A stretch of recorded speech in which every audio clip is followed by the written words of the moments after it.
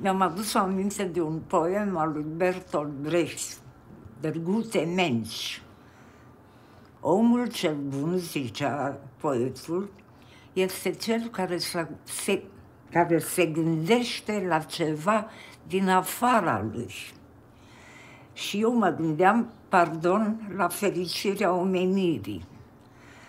Și în narcisismul și misticismul momentului credeam că pot contribui la această fericire, care s-a dovedit iluzorie.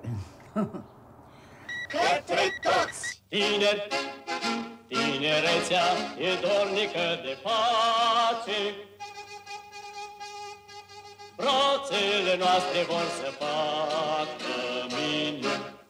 Era o cămașă de forță în care intram de bună voie. Asta e problema.